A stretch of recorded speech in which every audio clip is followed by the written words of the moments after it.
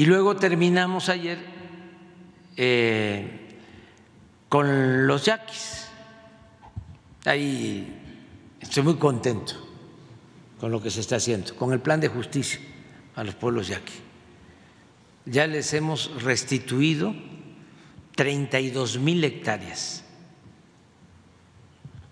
Les autorizamos la compra de 2.600 cabezas de ganado, vacas y algunos toros y muchos becerritos. Eh, estamos construyendo viviendas, estamos mejorando las calles, espacios deportivos, estamos eh, construyendo un hospital eh, y lo más importante es que les estamos devolviendo el agua.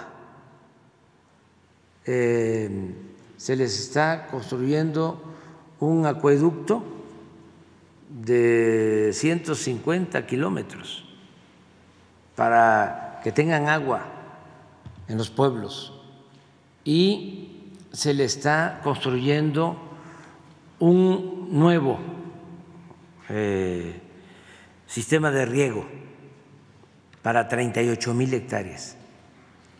Es una inversión en su conjunto como de 15 mil millones de pesos. Es justicia al pueblo yaqui y a los seres y tenemos pendiente lo de los mayos y así estamos pues trabajando con los pueblos originarios en todo el país. Eso fue lo de la gira de ayer en Sonora.